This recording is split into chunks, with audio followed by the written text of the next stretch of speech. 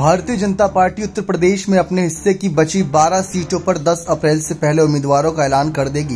प्रदेश इकाई ने इन सीटों से संबंधित रिपोर्ट पार्टी नेतृत्व को सौंप दी है। केसरगंज से हालिया सांसद ब्रजभूषण शरण सिंह ने अपनी जगह बेटे या पत्नी को चुनाव लड़ाने के प्रस्ताव को ठुकरा दिया है और वह खुद चुनाव लड़ने की बात कर रही है। सूत्रों ने बताया कि केंद्रीय नेतृत्व की ओर से ब्रजभूषण को हटाकर उनकी जगह पर उनके ही परिवार से किसी उनके पसंदीदा व्यक्ति को चुनाव लड़ाने की पेशकश की गई थी।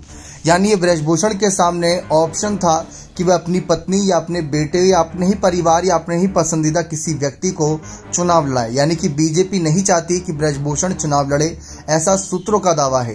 कई दौर की बातचीत के बाद भी ब्रजभूषण शरण सिंह केसरगंज से खुद के चुनाव लड़ने का ऐलान करते रहे हैं। वह अड़े हुए हैं इस बात पर। पार्टी नेतृत्व को आशंका है कि महिला पहलवानों के यौन उत्पीड़न का आरोप झेल रहे ब्रजभूषण शरण सिंह को मैदान में उतारने से विपक्ष को पार्टी पर हमला करने के लिए बड़ा हथियार मिल जाएगा।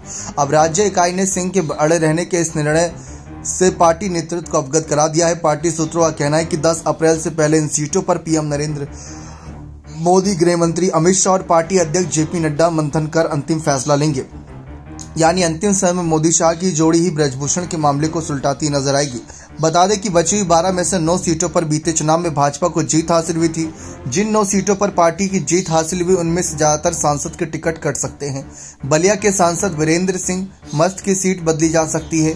पार्टियों की योजना बदोही सीट पर ओबीसी चेहरा तो गाजीपुर और बलिया में अलग अलग ब्राह्मण राजपूत चेहरा उतारने की है। प्रयागराज, कौशाम्बी, फिरोजाबाद, देवरिया में नए चेहरे उतारा जाना तय माना जा रहा है। लेकिन देखते हैं कि ब्रजभूषण के मामले पर भारतीय जनता पार्टी का अलखमान का क्या फैसला रहता है, क्योंकि बीच में ऐसी भी खबरें थी कि अगर ब्रजभूषण नहीं माने तो उनकी जगह पर बीजेपी इस सीट पर नया प्रयोग कर सकती, किसी अन्य चेहरे पर दाव लगा सकती है। फ़िलहाल ब्रजभूषण ने बीजेपी का ऑफ़र ठुकरा दिया है, ऐसा सूत्रों का कहना है।